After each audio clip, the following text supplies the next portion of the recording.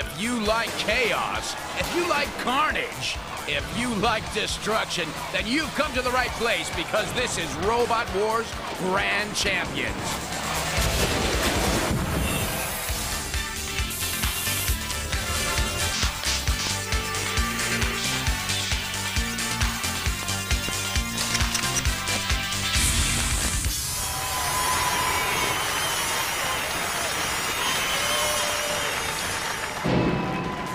This is how we settle old scores on Robot Wars. It's the ultimate tag team all-out brawl. Who will be around when it's all over? Anything can happen, but one thing's for certain, it's gonna be brutal. This is about guts. This is about glory. This is Robot Wars Tag Team Terror. I'm your host, Joanie. Let's get down to the floor and kick it off. All right, Joanie. Today you're going to see four teams of two tag team robotic terror with Inverterbrat and X-Terminator on one team up against King B3 and 101. But first up, Firestorm 2 and Scorpion up against Bigger Brother and Plunderbird 4. From Durham, Firestorm. From Nutley in East Sussex, Scorpion. Well, the first half of this tag team is Firestorm 2 with the most powerful flipping arm we've seen in Robot Wars, powered by a fire extinguisher using CO2, and he's very maneuverable. And their comedy partner, Scorpion, in at 167 pounds. He's got a bit of a silly looking chainsaw nose, but we'll see if he can do the damage. We're the Firestorm team from the north, And we are the Scorpion team from the south. and we're here as a tag team to unite the country. We have chainsaws, we have cutting discs. We have speed and powerful flipping arms, which means we have all the weapons we need to win Robot Wars Tag. Yes! From Brighton, Bigger Brother. From Alton in Hampshire, Plunderbird 4. Bigger brother tip of the scales at 170 pounds, sporting two monster truck windscreen wiper motors for drivetrain. They got a real powerful flipper, but it's tough to control. Plunderbird 4 at 176 pounds. Their main weapon is fear, surprise, and brute force. But they got a slicer dicer just in case. We are the Thunderbird team, And we are the Big Brother team. and we've decided to join forces For some mutual mullering. and mashing. So we're forming a team of the tagging type, Put some tag team terror. Totally. and it's going to be called The big Thunderbird Brother. Team. Roboteers, stand by. There's the tag team of Scorpion and Firestorm 2, with Graham Bone at the controls and John Bell controlling Scorpion. And there's the tag team of Bigger Brother and Plunderbird 4, with Mike Onslow at the controls for Plunderbird and Ian Watts for Bigger Brother.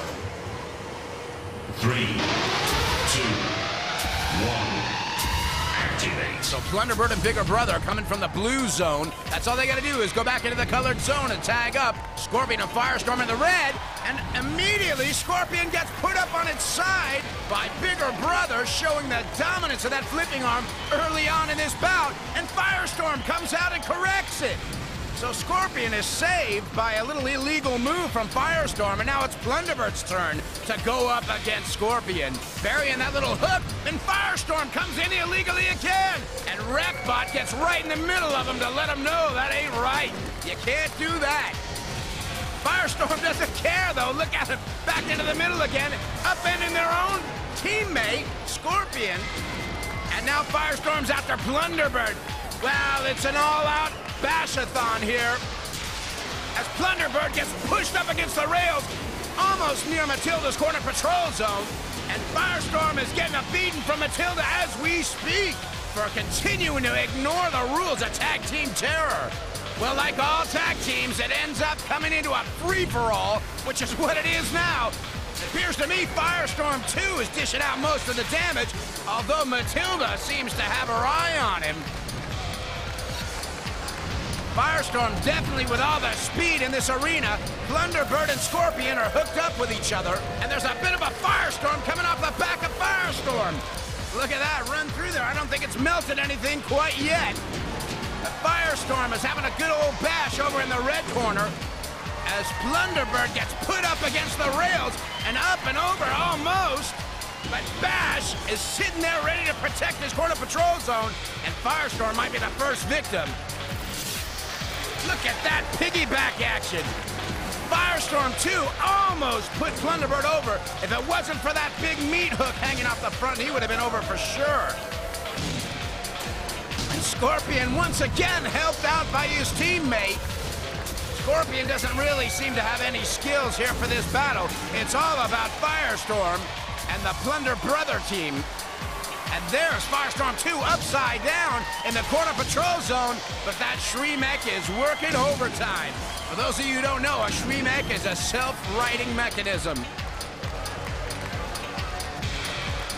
Bigger Brother backing up. He's actually backing Firestorm up, right up against the rail, and Scorpion doesn't look too healthy up against the other rail.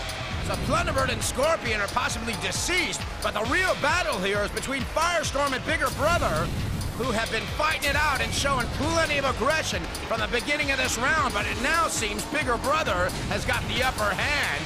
And they're pushing Firestorm across the arena, back into the other rail. The 10-second clock is going down, which means these guys are going to have to go to a judge's decision unless something blows up real quick.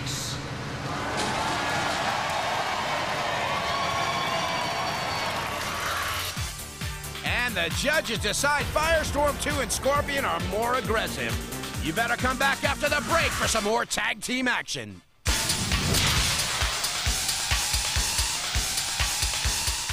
Welcome back to Robot Wars Tag Team Terror, where so far Firestorm 2 and Scorpion were the dominant tag team here, taking out their opposition, Bigger Brother and Plunderbird 4.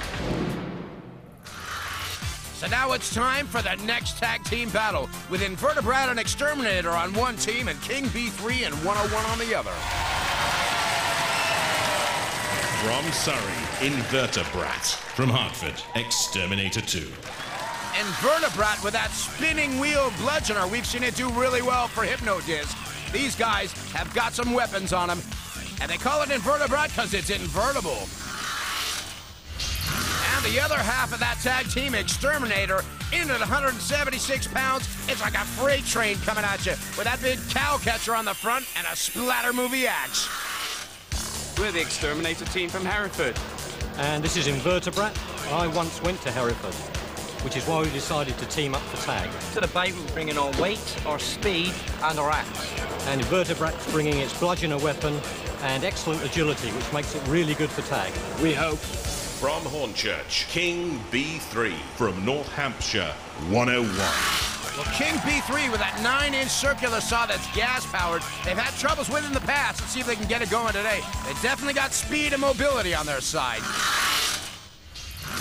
And 101, their teammate, looking like a lowrider tank, has got a 200 mile an hour CO2-driven spike for a weapon.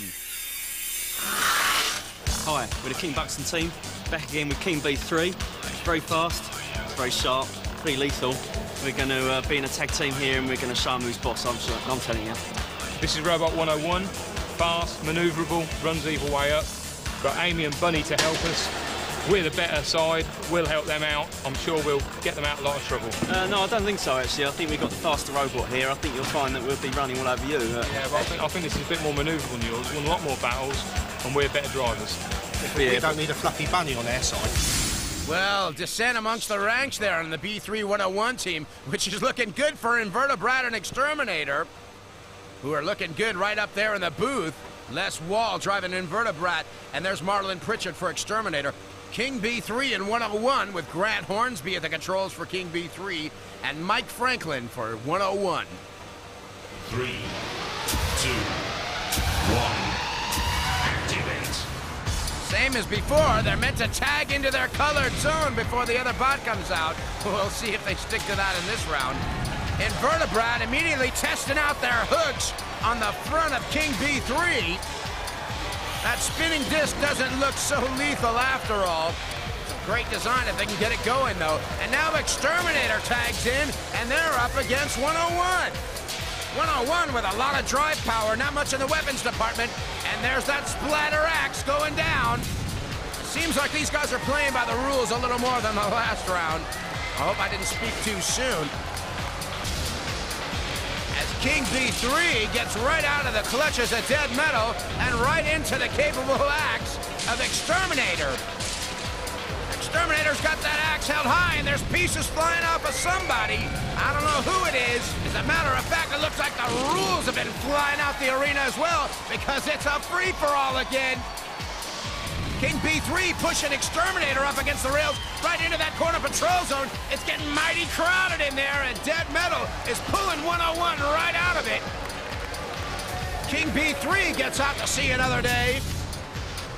And 101 with all the power pushing X-Terminator right up against its teammate, Inverterbrat. 101's got tons of power, but no speed as X-Terminator gets out of that corner patrol zone mighty quick. As King B3 pushes X-Terminator into the rail. Now King B3's having a forward reverse action, hitting both bots on the opposite team doing a lot of damage. If it had to go down to the judges, I'd say these guys were pretty aggressive. Inverterbrat looking like they're in a robo coma. Not much going on for them as X-Terminator gets pushed across the arena and yet again by these low center of gravity 101 and King B3 robots. These guys got the power and the pushing but no weapons. As Bash goes in corners, King B3 He's putting the clinchers down into the side. I'm sure he's going to do some major chassis damage with that. It's a 10-second countdown. Means they're still going, and it's going to have to go down to a judge's decision, unless, of course, something drastic happens. Little breakdancing move there on RefBot. And the judges go for the aggressive nature of King B3 and 101. We've got two teams on a collision course and a score to settle. Only one can survive. More Carnage and Robot Wars Tag Team Terror continues.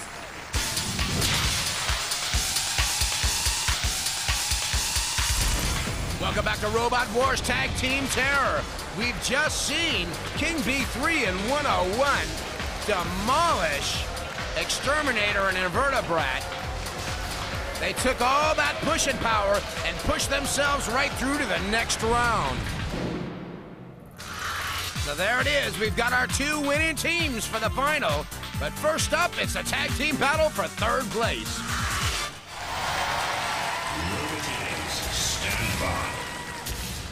And there they are, trying to preserve their reputation, or what's left of it, Inverterbrat and X-Terminator. And the team up there discussing strategy to get them through. And there's Plunderbird 4 and Bigger Brother. And these guys were really unlucky not to get through the last time. Three, two, one, activate. And here we go for the playoff of third place. Immediately, Bigger Brother goes out against X-Terminator. Battle of the Flippers here, and X-Terminator is doing really well with theirs. That mech worked just wonders for Bigger Brother. Brought him back over real easy, no problem there. And if you look, X-Terminator's lost the Splatter Movie axe for a Splatter Movie lifter, which isn't doing them any good, because they're getting upended by Big Brother right up against the rails. Plunderbird's just sitting there in the blue zone. I don't know if that was deemed a tag or not, but Plunderbird doesn't seem to move. Do you see those self-right mechanisms on X-Terminator? Great little pose to punch out of the side when they get broadsided, which has seemed to happen a lot here. And there's Inverterbrat getting broadsided by Bigger Brother, and they're doing some great synchronized breakdancing there. Fantastic. They're not even on the same team. Bigger Brother definitely has the upper hand, or should I say the upper lifter.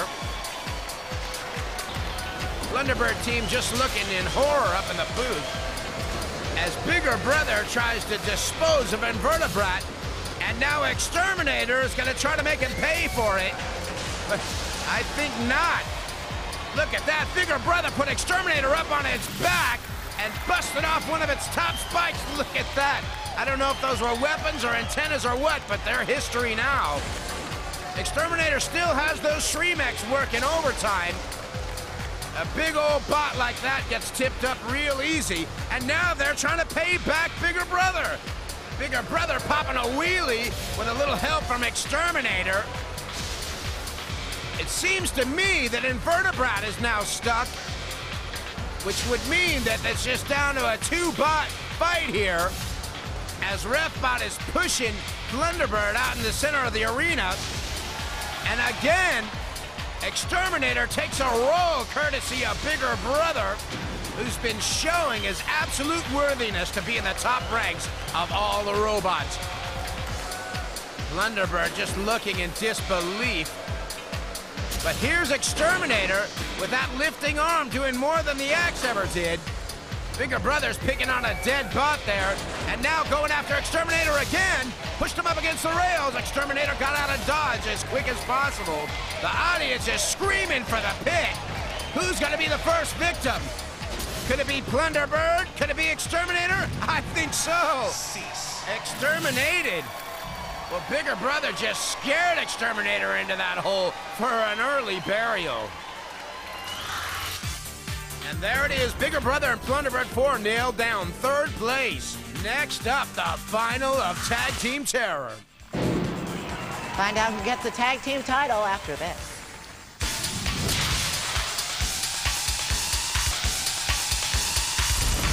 Welcome back to Robot Wars, where it's Tag Team Terror Finals time.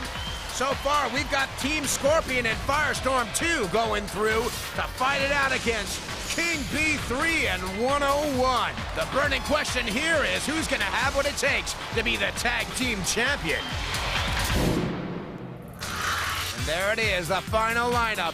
Firestorm 2 and Scorpion up against King B3 and 101. Stand by. There's Scorpion and Firestorm 2 ready to do business with Jeff Smith and Graham Bone and co. up in the booth.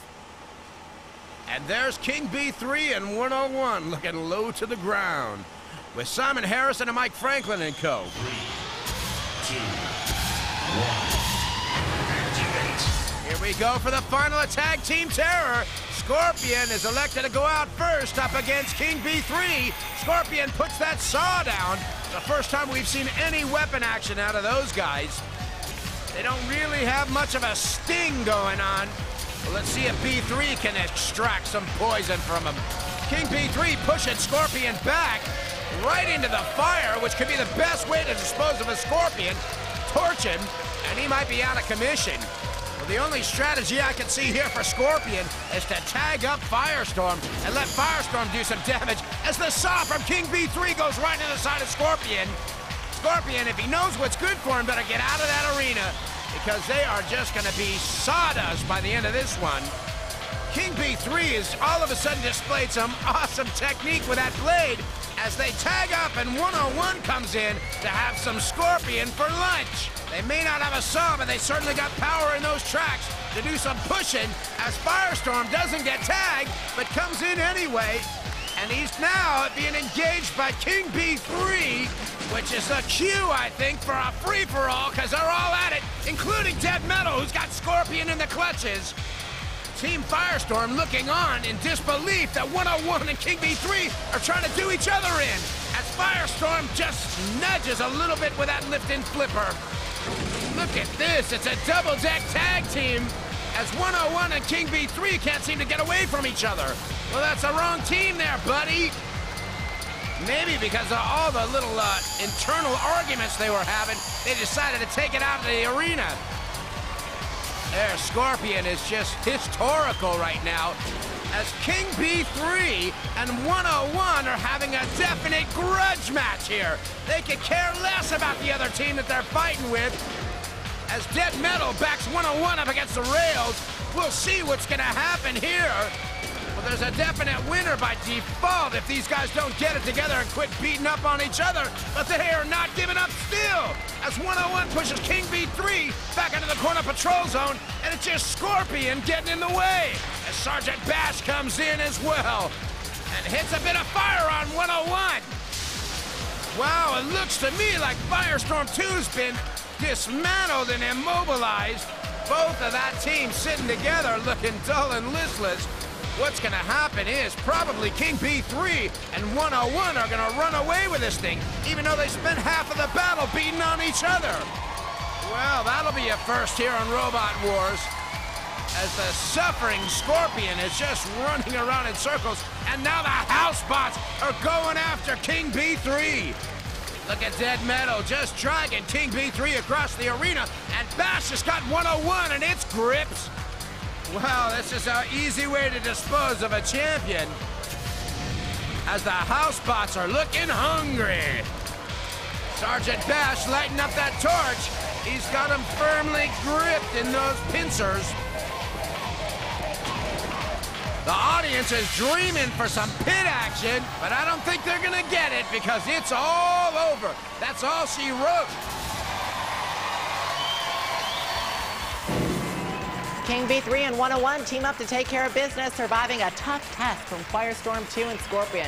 Who else will be bidding for a chance to rip them up and toss them aside? We'll find out next time as the action continues on Robot Wars.